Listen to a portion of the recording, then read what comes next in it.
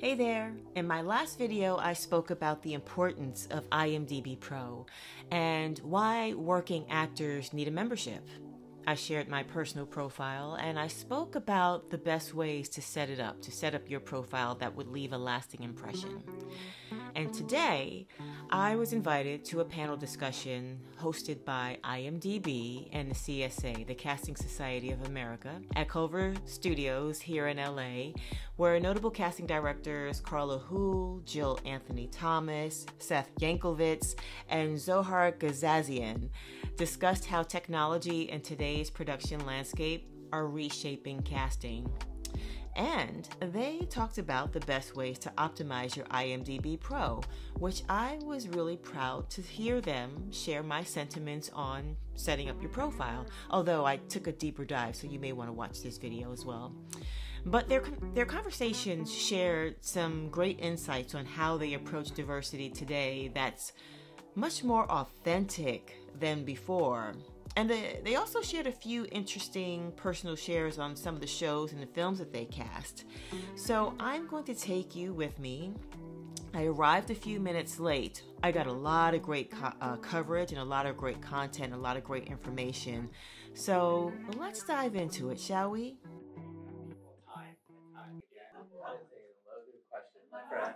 Um, you know, look, I, I, I always say like when I university or to young actors, like at an acting school, you just have to keep working at it, honing your craft, studying. Um, obviously, actors today have an outlet, the World Wide Web, where you can make stuff and put it out there, and people like us can find it, as opposed to even a decade ago or 15 years ago, like we just didn't search on the internet for people, right? And now we have to almost. It's expected of us. Um, you know, LA gets a bad rap for theater, and that's not true. Um, so I stress and urge everyone to get into theater here. Um, you know, we do all go and we do hunt. I mean, I went and saw Frankenstein's dinner party last week because a friend was in it. And whether I think it was great or not does not matter. but I now know six or seven other actors that I wouldn't have necessarily.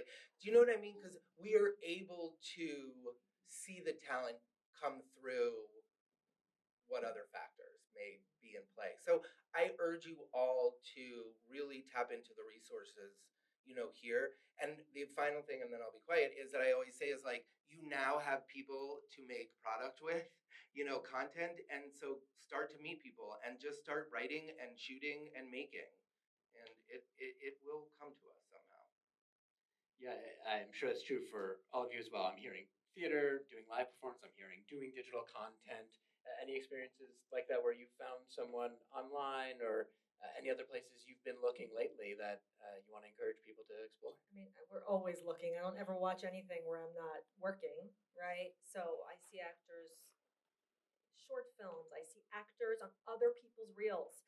I see, you know, as I'm watching, I'm like, ooh, you know, and then I go figure out who that is. It's just like, it's just, I go to the theater, I go to the theater here, I go to the theater in New York. I, you know, there's theater in San Diego. There's, there's Chicago. Like, there's lo- loads of places where we find actors. Um, so work begets work. Just keep at it. Yeah, I love to hear that. I think that's really encouraging to know you you are out there watching that that stuff. And it just it always seems like someone is all of a sudden very famous and like they just started yesterday and now they're very famous. But many of those actors have been grinding at it for a long, long time. Yes. You know, Pedro Pascal was reading for guest stars for a long, long time, and he was lo- as lovely then as he is now. But like now he's a megastar, but that didn't happen overnight. Yeah, definitely did not Yeah. overnight for him and he will be the first to tell Yeah. Yeah, yeah, that's spot on. Um, a few of you've talked about uh, worldwide casting and really looking beyond just the immediate LA community.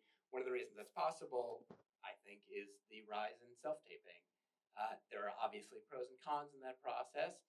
I'm curious for actors who want to make an impression on you in a self tape, whether or not in the room with you, what are some things you've seen that really impressed you, that stuck with you, that made you want to keep them in your Rolodex? Carla, anybody come to mind? Um, well, I don't know. I mean, self tapes. I like them to be simple, really, because I've had all sorts of self tapes. I've had like little short films set, you know, where the scene is in a bar and they're actually in a bar with music and no lighting. um, so I would just say do your best, you know, do just do your best scene and, and, and, and send it and it's going to come through. It does. You know, I know actors get very nervous about self tapes, but I think it actually has a lot of pros because it gives you the opportunity to do it several times and choose the one you feel the most comfortable with versus going into the room and, you know, maybe having one take, being nervous, and then walking out and being like, damn, I didn't, you know. Um, and also what you said, worldwide, it, it gives us the opportunity to see thousands of actors versus, you know, the only ones, that, the amount of actors we can fit into the, our schedule to come in and read. So, And I know, I'm sure those preferences are, are pretty wide as well. I mean, I'm sure at the core, what you're saying is true for everyone. Do your best work that you can and submit that, but also the scale of how complicated it needs to be. If anyone else wants to share to your experience with that. I think the most important thing is that we can hear you and see you. So it doesn't really matter what's behind you. Um, it, it, it, I mean, if you can, okay, if you can, but even a cream colored wall will not ruin your self tape if you're wonderful. You don't have to worry about like purchasing this fabulous curtain, you know what I mean? If you can, try something that's not busy behind you, but that's pretty much it. Six ninety nine on Amazon. You can get a blue sheet. a blue sheet. Um, but yeah, like medium close up. Sometimes people send us tapes like that are like this wide. I can't see what's going on here. This is this is film and television. It's a medium of the close up. But you, you also don't want, right?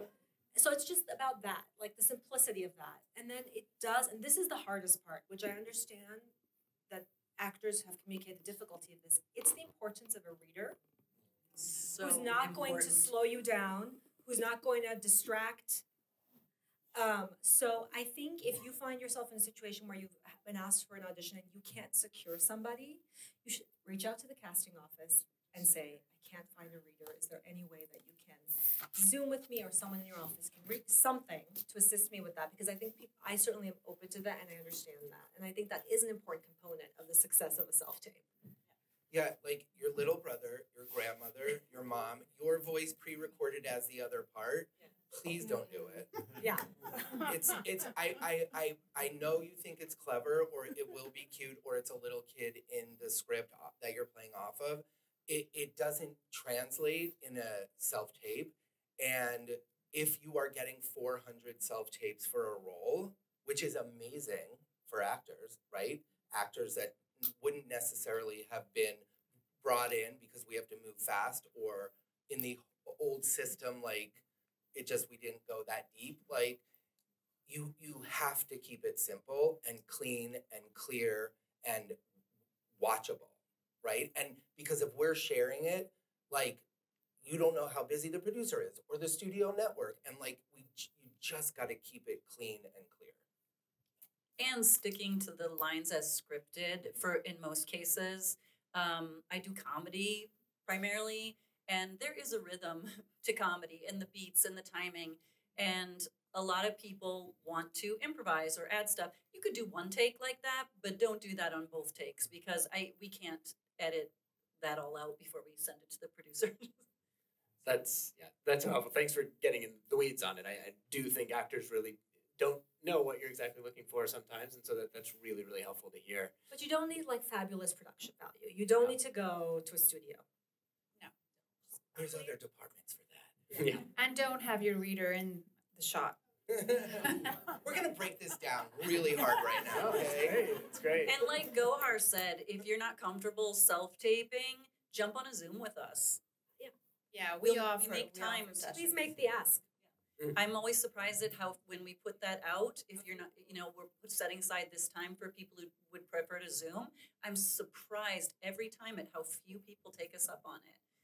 And we give feedback and we adjust the performance. It's just surprising to me how few people take take us up it. Yeah. Wow. You know, it's funny, but I actually end up asking them to tape afterwards mm-hmm. because the quality is just not as good On the Zoom. for some reason. Yes, Yeah, the quality is not as good when you when when when we do the, you know, the Zoom sessions with the actors, always the self tapes, the quality is better to share. Yeah, yeah, yeah. Yeah, that's a good reminder too. I think no, right on because I think you know for actors they're thinking about uh, their agent passing it to you.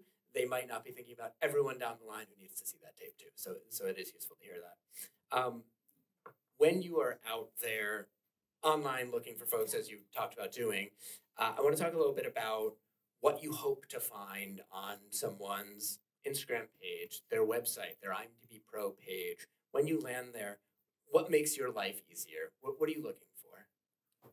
Um, well, on IMDb, uh, first of all, a, headshot, which it's amazing. But when you're doing like big searches, worldwide searches, sometimes actors don't have headshots. Second, their contact info. That's super important because a lot of international actors don't have contact info, and a lot of actors don't have contact info, right? Um, those would be the two main things to have, and then of course all your credits and your.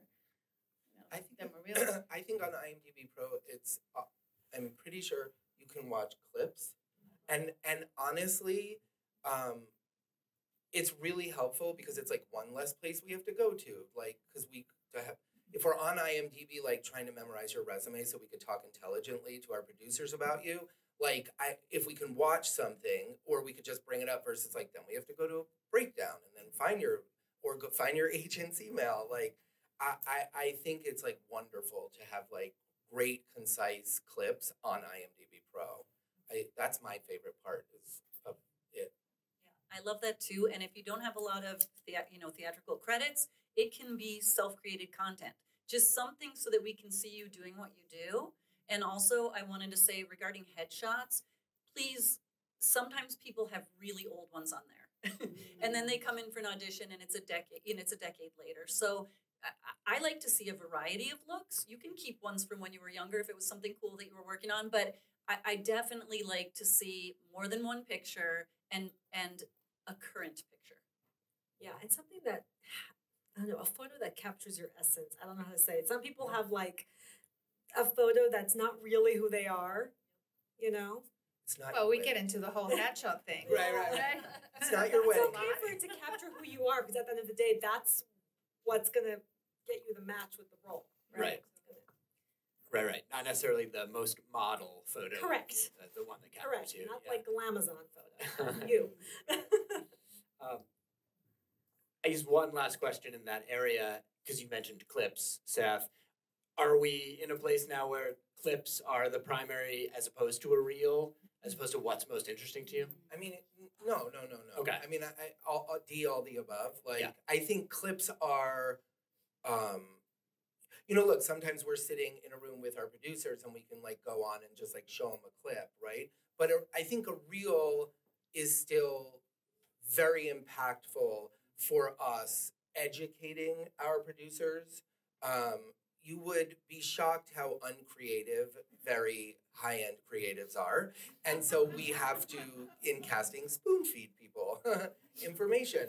And so I, I, I think reels are important. And, and I, I was just saying this the other night like, I'm a big fan of like, this is my comedy reel and this is my drama reel. So that I don't have to like fish through your Law and Order SVU to get to, you know, two broke girls. I mean, uh, you know, I do a lot of comedy like Jill, so oftentimes it's great to see the other stuff, but like I need to just get to the point. And so, yeah, no, I'm a big, I, I, I I'm a big reel person.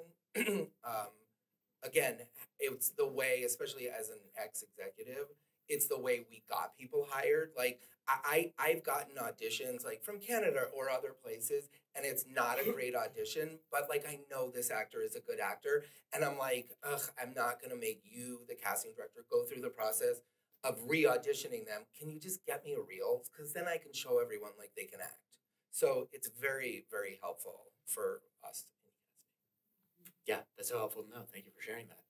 Um, as authenticity is increasingly embraced in casting, and we've been talking about that in a variety of ways, um, I'd love to hear uh, any recent examples where you expanded your casting pool because of a call for or, or your own interest in exploring options that expanded the considerations for gender identity, sexual orientation, disability, um, race or ethnicity. Jill, maybe Yeah, introduce yourself. Well, in the last six years, I've had the pleasure uh, to cast three different lead roles in three different projects that were written for a neurodivergent actor. So, yeah, so that was a fascinating uh, process.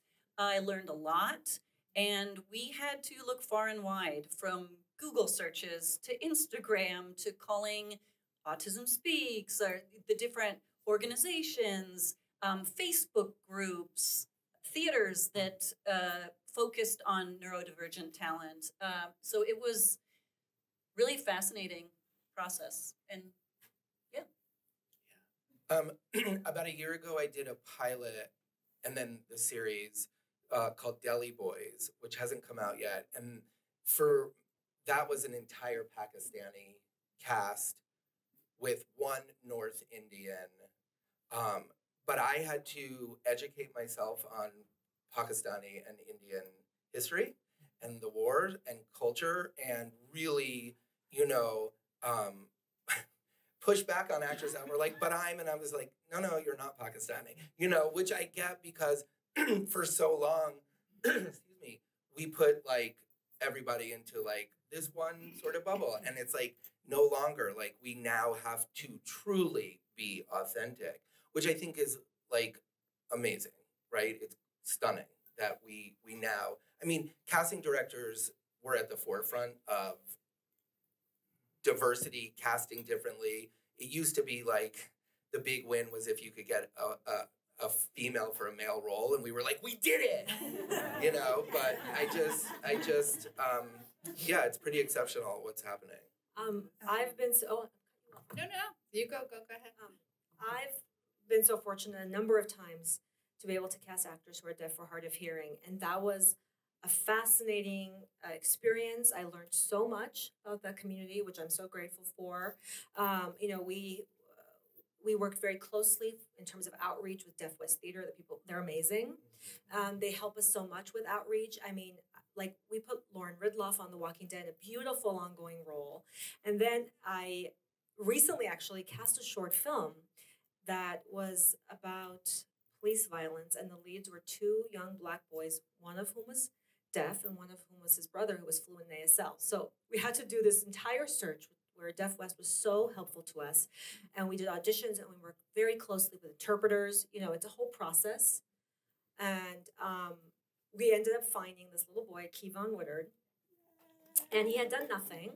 And uh, our director fell in love with him, and then we pushed our dates a little bit, and then he went and booked The Last of Us and got it and shot that, and then he came and shot our short, and then he got nominated for an Emmy. and he was like nine or eight years old, raw, had never acted before, like, and his mother was incredible, and it was such a, you know, it was just such a beautiful thing, and we were like, oh. Oh my God! Because there's opportunities now for people, and like, you know, it's not all the kids who are represented in town. You have to go and really find people and you have to do it using resources that are trusted by that community. You know you can't just go on yeah you have to like work with people who are in that community who can do outreach to the families and and so it's a beautiful thing and you learn so much about a community that you know exists but you don't know intimately. So i think it's a gift. Um, for me, well, being Mexican, uh, when I moved to LA, which was 17 years ago, um, there was no interest in authenticity at all. And I remember uh, that producers would be like, "Yeah, we want to cast this actor." I would be like, "No, but he's Puerto Rican and he can't do Mexican because he's not Mexican. He speaks like Puerto Rican."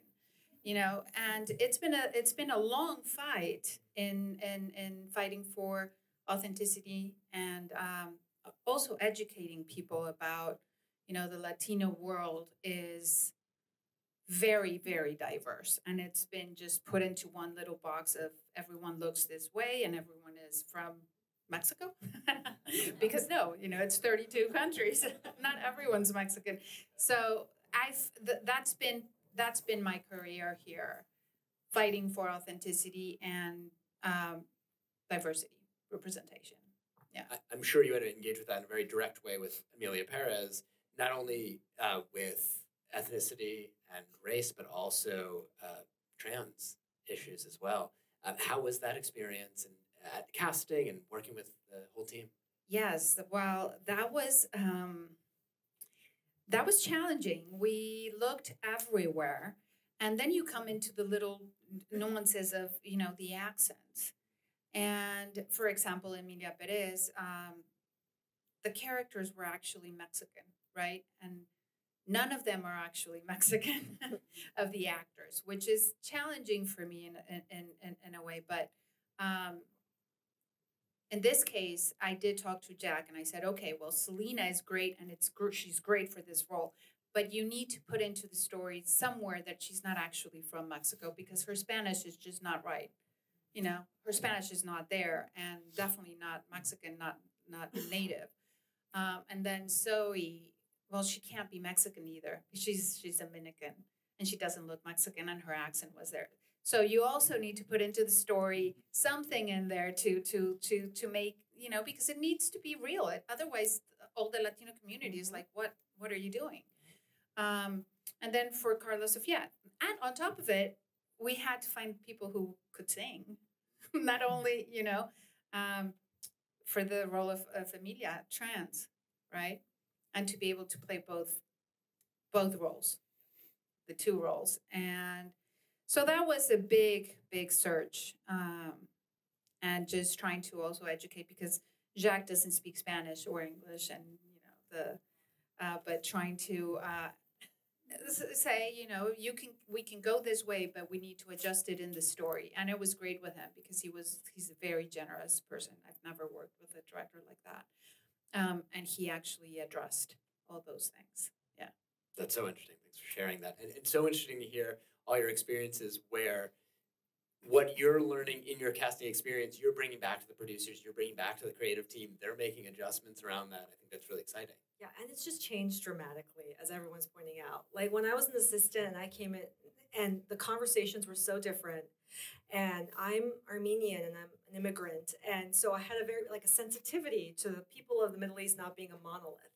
And you know, I remember I would come in and to the waiting room, and because there'd be a lot of offices, kind of, you know, we would share a waiting room, and they would be reading like some small role that was like Arab man number two. Mm-hmm. And like half of them were Armenian and half of them were Iranian. I was like, what's happening, you know? And so, the, and people didn't even want to have those conversations. Like this, these, this, like he can't play this character because he has a, he has a thick Iranian accent. And so now everyone really, I feel like, wants to know and wants to honor that and wants to see that. And so it's nice to not be fighting so hard without seeing a change.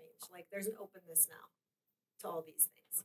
That's great to hear. Yeah. And, and I'll remind on behalf of IMDb Pro as well to make sure you're updating your personal details on your IMDb Pro page so they can search for you if they're looking for you uh, for a that role. is that is actually very important because Yeah. sometimes, but because I do a lot of diversity, and sometimes I put in their uh, ethnicity, and actors don't put their ethnicities there, and I know they don't want to be boxed into a specific, which is also hard because you know you don't want to get into, but but then also it doesn't allow us to be able to find you if we are looking for something specific. I, I have to say, like, don't be scared anymore about that, mm-hmm. right? Like, if you are white presenting, then you can fill that character as well. And if you're white presenting but half Latin, like, it's a bonus as well. Like, there's so much intricate details to what we get to do now that I I feel like it's almost imp- like you know you you absolutely should put everything that you sort of identify as um, and then leave it to us to really sort of take it and run with it and be able to sell you because you you you might not you you might be like well I don't and then I'm not gonna and it's like no no it's actually gonna help you and help us get you the job so I, I agree I think you're 100% correct Yeah, yeah. It's right on to acknowledge that there was fear before in Yes, some ways. yeah. There still is, you know, I understand because you can be you can be boxed into, you know, you're just Latino or you're just Middle Eastern or you can only play that. It's tough. Yeah, yeah, that, that's totally fair. Uh, I want to talk about maintaining connections with actors, particularly in a self-tape world. But uh, look, no one wants to be annoying, right? No one wants to be bugging you guys. But how have you seen actors successfully maintain a connection with you and, and stay in your world? or has no one? I'll do it. I'll take it on. It's okay. Um, I've had experiences where actors who I reading, you know, will send me a message that say say like, "Oh, I'm taping for you. Thank you for this. We met on such and such," and you know, just like a reminder, which I think is is nice and lovely. And I think that you absolutely, if you have someone's direct contact, or if you if you want your representative to do it for you, if you have you're in that situation, that they should send. You can send people updates. Just do it sparingly and when there's a meaningful update. You know, so you're not constantly you know messaging them because we just we just have such an influx of communication that it just is hard to get through it all. But if you do it sparingly when you have some meaningful update, I think I, I like getting those kinds of messages from actors I've met and seeing what they're up to. And I think that's lovely. It used to be postcards. Yeah. I'm glad there are no more I know. postcards. I used to. I was The amount like, of trees. my old casting partner Juel Bestrop had a box full of postcards, and I'd be like, I hate them. And then I was like doing episodic, and I was like, Can I borrow that box of postcards you have? Look, I think it's like it's like what Gohar mm-hmm. said. If you're doing something great, if you're really proud of something, if you just got a lead in a show, if you just got a huge guest star, if you just got an arc, just send an email. Guess what? We can either read it or not, right? But this is, I mean, I hate to say this, but it's show business for a reason, right? And mm-hmm. you are your CEO and you have to sell yourself. And if you're not going to do it and you're the best sort of proponent for yourselves, well, no one else is gonna. So we're only to hear about it if you tell us. Yeah, I would also say that, you know, if you find out that a casting director is casting a certain role that you you feel like you fit, do send an email because it, it we do get a lot of emails, like a lot. We can't get to all of them, and don't feel bad if we don't answer because we just don't have the time.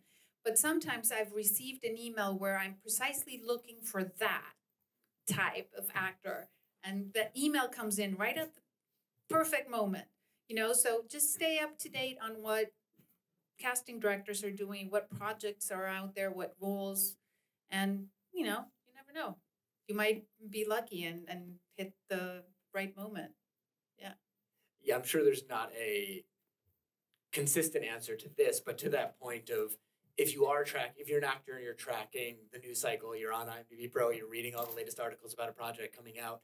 Is there a stage in that process where you find you are more receptive to messages from agents and where people are trying to get to you? Do you know what I mean? Yeah, I feel like when you start the project, it is a feeding frenzy. uh, thousands and thousands of submissions, lists of known talent that the network wants a name, or who, who are the known entities that are right for this and checking avails, and agents pitching. And I always feel like that first week is a little overwhelming. We're, mm-hmm. we're in the weeds. So I think more for the discovery phase around week three. I mean, like if it's a pilot, you know, like we're doing six six week search or something, the middle. Episodic, you have to move fast. If you see something you like, send an email. And in, every week, I take someone out of my emails and try to give them an audition for something. So, Wow. You heard it here first, ladies and gentlemen. well, it used to be the postcard game. We would collect all the postcards, and the script would come out, and we'd go through the postcards and we go, which person are we going to pick for an audition? And that doesn't happen anymore. So now it is in my work email account in a folder. So I put them in the folder. Sharing, yeah. Yeah, thanks for sharing that. Um, I want to rewind to some of those favorite all-time projects you talked about, or, or memorable all-time projects. I won't make you call one a favorite and, and others not. I want to hear some stories from those projects. So uh, I'll start. Gohar, you were remind me which ones you you told us about. You said Walking Dead. Walking Dead. Yeah, and uh. Oh yeah, let's talk about Julia because I think that's a really lovely show. Any casting moments that stay with you from it? Well, God, that cat. If, if that shot in Boston, so we were trying to cast a of actors out of New York, which is my dream. um, it was all these wonderful theater people, and um, Sarah Lancashire, who obviously is a very well known and very well regarded actor in the UK, but Americans do not know unless they watched Happy Valley. Um, you know, there was very few people who could play Julia Child, and um, it was a short list. and we were reading some people, and she and loved. We sat. We got on the idea and loved the idea, and she was lovely enough to agree to fly out here and you know show her take on the characters. She, Julia Child was so specific in her physicality and her mannerisms, and that was a real privilege and a pleasure. And we were so fortunate to cast her. Um, and you know, a lot of those people we it was like maybe knew. You know, we, a lot of those were offers to just incredible people. But um, Brittany Bradford, who we were looking for a woman to play the producer, and the real woman actually was a white woman. So there was a lot of ongoing conversations because the show took place in the 50s and it was a highly, it was a television production in the 50s. It was highly male and highly white. And the creatives made a choice to make that character a black woman, regardless of the fact that that wasn't true, because we felt that there, it was important uh, to, ta- to tell a story of a, an aspirational story of a, a black woman artist trying to make it in television in the 50s. And Brittany Bradford read for it among a number of women. She had just graduated Juilliard. She'd barely done anything. And they saw her and they were like, that's it. That doesn't happen a lot. There's a lot of putting actors through the ringer, you know? But oh, I should probably have this higher. But, um, you know, they fell in love with her and, and she was lovely. And um, that, that show was like all the loveliest people in the world in the cast and also in the in the crew and all the people. It was just like the loveliest experience. So yeah, and then you know, I guess not positive. I mean, not positive. Positive. It was very hard to cast Donald Trump in the Comey Rule. Sure. Really hard. Actors didn't want to do it. Um, understandably. Uh, and Brendan Gleeson passed. Oh. And then we made a Hail Mary circle back to him and made our pitch. And he agreed to do it, but he said no press. And I think that it took an actor who wasn't American Sure. took her to take that on because there was a real sense of like, uh, Yeah. what's gonna be the response? Yeah. So that was an interesting. Was that was a very interesting process because it was all real people and contemporary real people. Yeah, that's interesting to hear you talk about New York theater actors too, and them holding a special place in your heart as well. Yes, and then we would get okay, just short. Sorry, guys. Sure. We would so we would cast like Jefferson Mays, all these fabulous people, and then we would get like videos from the set where he would like they would they did a number. they did a whole number, and Jefferson Mays was singing, and like it was a whole to do. And we'd get these videos, and it was just like the best thing ever, because that community is very close knit. Um, so that was I love getting reports from the set after an actor shoots something. If they have a good experience, I love when they send me yes. uh, photos with the cast or a little note telling me about their experience. I love that. FYI. That's a great way to yeah, stay in Do it. contact. Um, yeah, before we probably about five minutes before I open up the room for some Q and A's, but I'd love to hear some other personal favorites. I mean, Seth, you mentioned The Hangover, a, a Um, favorite for sure. Yeah, I, I'm gonna. I mean, Oh, I go think for my what you want. favorite thing just was sort of the process of Max Greenfield on New Girl, um, because El- Elizabeth Meriwether and the writers were very big comedy snobs, and they knew everyone, and like. m- Like they wanted to like pre-read all my lists and like had to, appro- and I knew Max really from around town, less as an uh, from auditioning him, more just socially. And so I snuck him into my second producer session. It literally snuck him in, like name not on the list, and was like, "Oh my god!" Like I forgot to put this person's name on my list.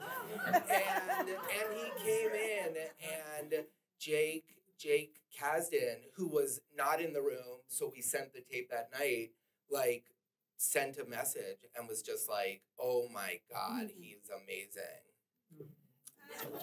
No, no, and so like that's sort of how it like. I mean, he obviously like came back and tested and you know read with Zoe, but but like th- those moments of like true pride where you know we get to be creative and we get to sort of like do our thing and um you know the magic of like that ensemble sort of And he knew Jake prior too. Is that right? Jake, uh, no uh not I mean, not that I'm aware of. Not Jake has. I'm sorry. Uh, Jake, No, uh, Jake Johnson. Johnson. Yeah. I mean, oh, I don't. I don't think they knew each Okay. other. J- I mean, maybe they. maybe an apocryphal think- story. yeah, I've heard. Yeah. Um, Jake was Jake Johnson was just sort of kind of coming up right at that moment. He had just done a movie, and so Cool. Yeah. Uh, yeah, Jill and Carla. Uh, Jill, if you'd love to, anything you'd like to share? Are we talking about like people that were I suppose. Yeah, A moment favorite casting that just really stick Um, with you. That I'll do the one that's a flex for my daughter because she loves this one. So, like in 2012, I was casting a project for Disney, and I needed to find young talent around, you know, 11 to 13 years old that could sing, act, the whole shebang. And a tape came to me from Pennsylvania of a 12 year old girl that blew me away. I got goosebumps. Uh, she ended up getting the part on the pilot. It didn't go anywhere, but she's doing just fine because her name is Sabrina Carpenter. but I found her like off of a nationwide search. She didn't have an agent, she didn't have a manager. Her dad was like putting YouTube videos up for her, and they s- somehow saw the casting notice. I think through Nancy Cartwright uh, told her about it. She's her aunt, and she sent me the stuff, and I yeah, that was one moment where I just went, "This girl is going to be a star." wow, that's good. Um, let me see. Well, one thing that might, you know, uh, Coco, for example, the boy. Um, I actually knew him from a short film that I had cast recently, be, right before uh, I started casting this, and I knew he was perfect and he was the boy, right? But of course, we had to go and look for. He came in in the first session. I sent him in the first tape to producers to everyone, and I knew he was the one. But still, we had to go and look at five uh, five thousand other kids everywhere. We flew to Mexico. We went. Every, I mean, we did crazy, and then we ended up going back to him. So also, in a way, you know, I know sometimes it it's it's hard and patience because you're waiting to hear from from a project whether you're gonna you know get a call back or what's going on sometimes that happens you know where you auditioned and three months later they come back to you and, and, and give you the, the role Yeah, you really will hear back. Yeah. Yeah. Well, thanks for sharing those. Uh, yeah, we do have time for probably two audience questions or so. Um, yeah, uh, Karen will come to you with a microphone. She's finding someone right there. Hi, I'm Deborah Marsh. It's nice to meet all of you, and I enjoyed it. I wanted to know I know you take emails, but I was wondering if you ever take anything on, on LinkedIn.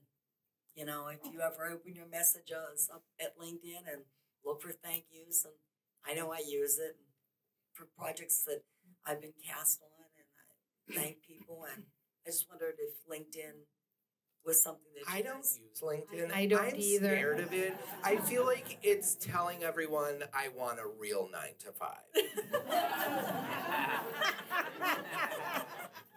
I don't. I don't understand LinkedIn. i don't either I don't. I don't use I don't either, get I it. don't. I'm good. Thanks for asking. Yeah, it's a good question. Oh, Karen, you looks like you got something. Hi there, uh, Scott Perry. Thank you all for coming out today. Um, as the landscape changes from the broadcasters to the streamers, who's holding the card now for the final decision on the casting? Is it hmm. still the network and the suits, or is it more the creatives like the showrunner, the director, the producers?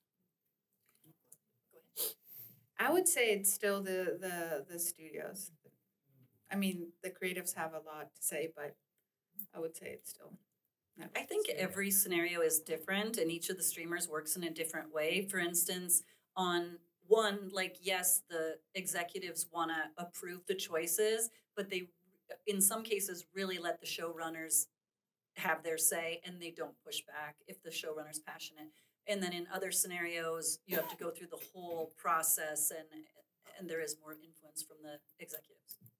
Yeah, it also depends on the, the level of showrunner. You know, Yeah. if it's someone, uh, you know, very experienced and uh, big name, they're less likely to push back on them than like younger people. But it's a it's a process. Your showrunners, you still are, they're making choices that we're presenting to the studio network, and the studio network have to sign off on those people. And sometimes they do, and sometimes they don't. I think we have time for one more. Yeah. Karen, you have one there? Okay. Thanks, everyone. Uh, so I'm really interested in doing multicam comedy, but uh, so to, to keep my uh, my my comedy chops up, I do a lot of stand up, and I've noticed there's a really severe difference between watching a tape of a stand up comedian versus being in the room when the show's actually happening. I'm just wondering if you've thought about how that relates to actors auditioning for multicam using self tapes versus being in the room and, and seeing how they affect a, a real live audience because that's so important to making a multicam work. Yeah, absolutely. For multicam, I, I don't want self tapes and Zooms. I want to be in the room with people. I mean, that's not to say that in the initial rounds we won't start with self tape, but when you start to get serious about making choices, it's crucial that it's in person. Um, timing, the energy. Yeah, absolutely. Multicam is a different animal. Yep. Yeah, great. I think one more. We got we got time. Let's grab one more. Uh, hi guys. Um, can you tell us a little bit about the process post initial self tape between co-star, guest star, and series regular? Sure. So after the self tape, right, the casting directors are watching, and some of us probably give feedback before and maybe ask for like another tape. Some just send it along to their showrunner or producer to decide if they want a director session or a producer session. Once that happens, if it goes further, it would go to studio. The studio then would decide um, if they're going to put a test deal in place. Uh, and then it would go, then you'd retape. Maybe it'd be a chemistry read. And then it would go to network. Um, I, I've sort of done it all in terms of like gotten a self tape, thought it was bad, but was like obsessed with the actor. And I was like, please have them redo that. And here are some notes. Um, and I've also gotten self tapes and been like, they're amazing. Put a test deal in place right now, and we have to chemistry read them with our lead, right? And you've got to move fast. So it really also depends. You know, when you're doing streaming, sometimes you have the luxury of a little more time than the old, you know, ABC, NBC, CBS, Fox pilot season, um, where it was like, okay, I like him, put, to put a test deal and like get him in here tomorrow. Like you didn't have time to really like work it out. So um, I think that's the question you asked. Um, And the differences, right, between co-star and oh, sorry. recurring. Yes. Yeah. Well, yeah, and sometimes you don't need, I mean, s- th- th- we don't need approval from Studio Network, sometimes not for those. Yeah, Yeah, we tend to cast most of our co-stars just off of self-tape, send send choices to the producer and director, and they generally choose co-stars off. Guest stars more maybe bring someone on a Zoom with the producer. or even just a Zoom with us. Sometimes if it's a new actor to me and I like their tape, but I want to know because it's a, like it's a really challenging guest star, or s- especially if it's a series regular, I'll do a Zoom with them where I meet them and we play around and I see how they take direction, which is hugely telling of a performer as well. Thank you. Thank, thank. That's our time for now. Thank you so much for being so candid, so open. Um, on behalf of IMDb Pro, thank you all for coming out today. Uh, and uh, stick around. We do have a networking opportunity afterwards. If you aren't an IMDb Pro member, please join today and make sure you verify your SAG-AFTRA membership. You get 30% off on your next billing cycle when you do that, if you didn't know.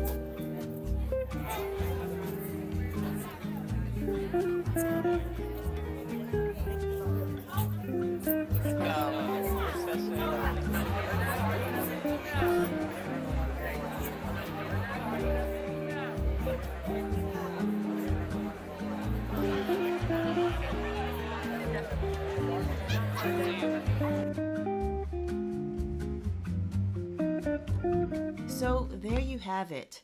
That is great information straight from the mouths from some of the top casting directors, I want to say in LA, but in the world, in America. And, um, you know, I really found the panel really helpful. There were some things that I learned myself. So I hope that you enjoyed that video. Until next time, oh, you can check out my podcast, Acting Lessons Learned. And listen, if you need help setting up your IMDb Pro account, you may want to watch this video where I get straight to the setup. All right, until next time, bye bye.